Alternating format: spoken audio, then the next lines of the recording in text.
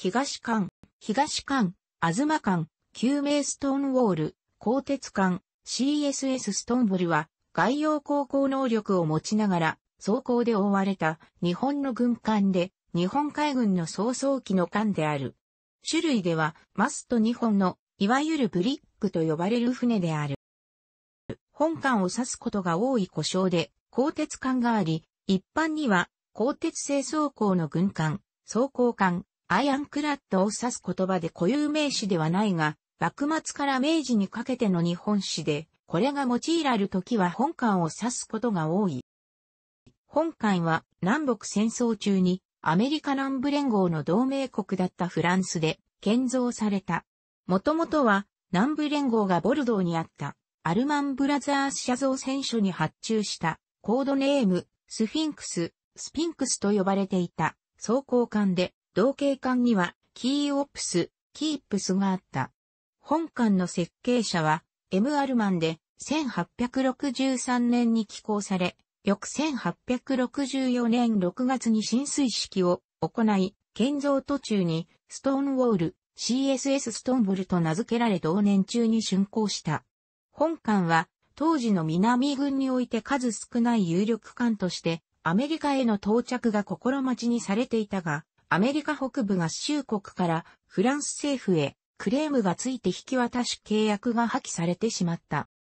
そこで2艦は売りに出され、当時戦争中であったプロイセンとデンマークに渡った。デンマークに売却されたのが本艦で、ステークオザー、ステイルカーダーと命名されるも、デンマーク到着前に戦争が終結。受け取りを拒否された艦は、オリンダとなり、フランスへ戻された。だが、その途中の1865年1月24日に、アメリカ南軍がこれを奪取。ストーンウォールとなるもハバナ入港後北軍に包囲されたため、キューバに売却されてしまった。戦後、アメリカはそれを買い戻すも、渓流状態に置かれていた。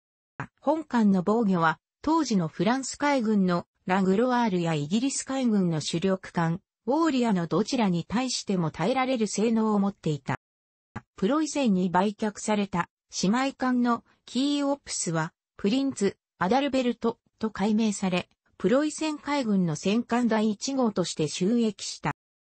左は本艦の装甲配置を示した図である。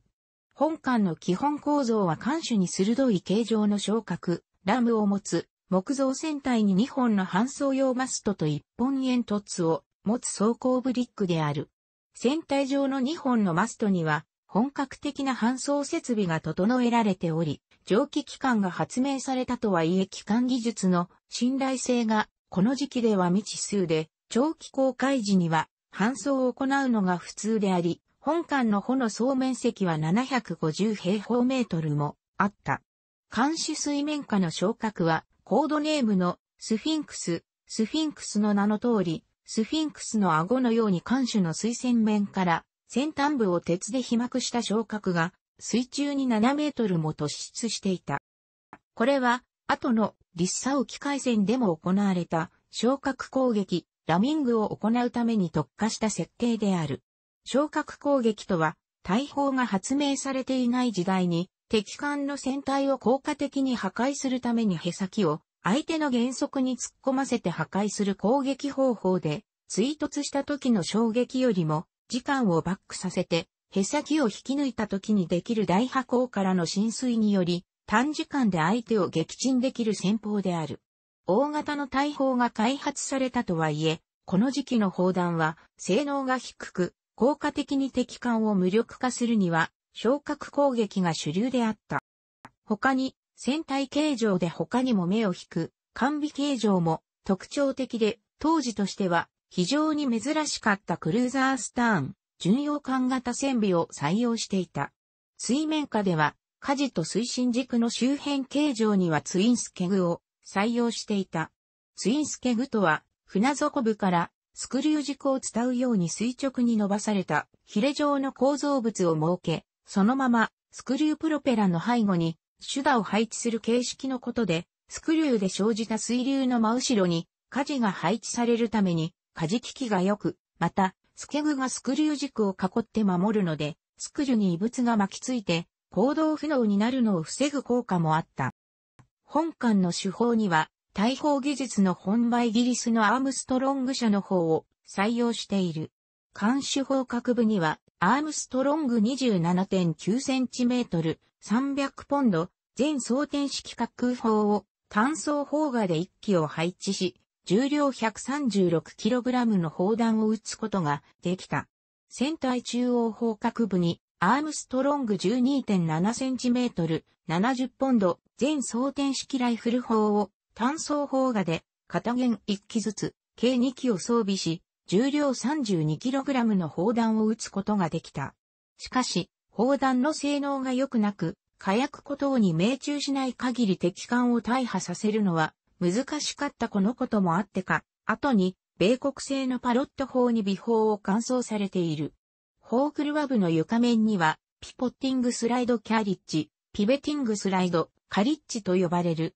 円弧状のレールが付設され、その上に置かれた砲画を旋回、移動させることにより、砲角から大砲を出した方針を出した際に訪問を、視点として砲尾部を線上に動かすことにより、広い社会が得られた。これにより少ない門数でも迅速に火砲を敵艦に向けられる工夫であった。さらに、砲画の設計も新型で、従来の砲画の行角は10度程度であったが、本艦のものはスライドキャリッジと呼ばれる形式の砲画により、行角は一挙に倍以上の25度が可能となり、射程の延伸が可能とった。また、砲車に設けられた砲門には、戦闘時に開口部から敵弾が飛び込むのを防ぐために、装甲板と同じ材質の蓋が取り付けられ、装填時に開口部を塞いだ。本艦の防御要求は、対15インチ砲防御を目標として設計され、北軍の持つあらゆる種類の艦砲に対して貫通されない防御力が要求された。砲角部の形状は前後ともに横方向に広い楕円型をしており、当時の低い工作技術で複雑な曲線の船体に装甲板をまんべんなく貼り付けるフランスの剣艦技術の高さが伺える。船体甲板上の艦首側と中央部に手法を収める楕円筒型の砲、各ケースメートが設けられた。砲角部には船体構造部とは別個に装甲板を装着するためのコーキングと呼ばれる干渉材が構造材からに貼り付け、その上にアーマーパッキング、砲弾が命中した際にショックを和らげるための干渉材として、厚さ 80mm のチーク材がさらに貼り付けられた。このアーマーパッキングに、装甲板を専用のボルトでネジ止めして装着される。本艦の砲角部には、装甲板の材質は、粘り気のある連鉄製で、前述のアーマーパッキングの上から厚さ 102mm から 140mm 装甲を貼った。同時期のデンマーク海軍の装甲艦、ペダースクラム、1866年竣工、3300トンの方クルワブの装甲が 120mm であることを考えれば本艦は排水量が2倍の艦と同等の装甲圧を持っていたことがわかる。この当時の艦隊の防御様式は、水線部は装甲板を原則の前周に装着する全体防御方式が主流であった。本艦は高さ2.7メートルの装甲板を水線部を例として上方向に1.5メートル、水線下に1.2メートルもの範囲で原則を覆っていた。防御圧は船体中央部は 125mm で監視と艦尾の水線末端部に向かって 90mm にテーパーした。さらに、その装甲板の上から厚さ約 32mm、1.25インチの装甲を貼る複合装甲を採用していた。後に、北部合衆国軍が開発したモニター管、モニターの搭載砲は11インチ、279mm 砲でしかないことを考えれば、本艦の防御能力は高いものであった。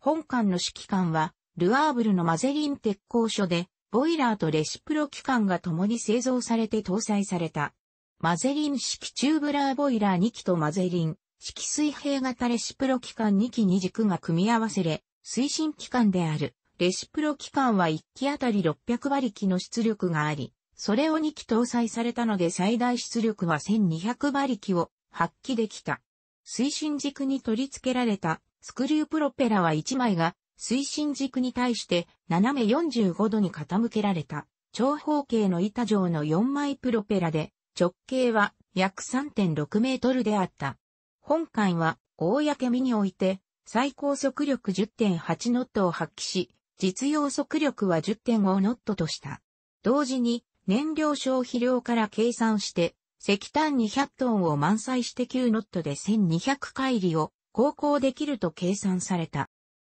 慶応3年、1867年に、小野友五郎を代表とする江戸幕府の訪米施設が、アメリカに、ストーンウォール、CSS ストンボル買取を約束したが、翌慶応4年、1868年に、戊辰戦争が勃発して、幕府が会すると、新政府側でもストーンウォールを買い取りたいと言い出した。旧幕府側はこれに反発。横浜に至ったアメリカ側は戦争の決着がつくまでストーンウォールをどちらにも売る気はなと局外中立を宣言した。しかしよく越列藩同盟が崩壊し、榎本武明旧幕府海軍が蝦夷地へ渡って、諸位、蝦夷共和国を樹立させた頃には、明治政府が新たなる政府であることを認めて、局外中を撤廃。まだまだ財政が厳しかった明治政府は躊躇したが、明治2年、1869年2月3日、ストーンウォール、鋼鉄艦購入に踏み切った。旧幕府海軍は、機関の海洋丸を座礁で失った上、明治政府のストーンウォール、鋼鉄艦購入の知らせが函館に届き危機を感じた、榎本らは、軍議の上、同艦への異常攻撃による奪取作戦を計画、アボダージュ作戦、宮古湾海戦が起こった。榎本らは、鋼鉄艦の走行を貫ける新型砲弾を開発しており、船に積んでいたと言われるが、天候などの不運も重なりその威力は試せないまま、ダッシュに失敗し、本艦は宮古湾海戦で旧幕府軍艦を追撃した後、青森に待機し、同年4月9日の新政府軍上陸に際して、函館湾に出撃。函館湾海戦を経て、旧幕府軍の降伏に至った。1872年、明治5年12月7日にはなお、東館と改められた。その後、佐賀の乱、台湾出兵に出動。1874年、明治7年8月19日に、長崎港に停泊中に台風により沈没したが、ほどなく扶養されて、横須賀海軍交渉で復旧修理の上海軍に復帰し、1877年、明治10年の西南戦争では、瀬戸内海の警備任務に就いた。購入から17年後の1888年、明治21年に除籍された。解体のため民間に売却された東館の走行版は上質であったので、浅草火力発電所の変圧器の鉄心に再利用された。楽しくご覧になりましたら、購読と良いです。クリックしてください。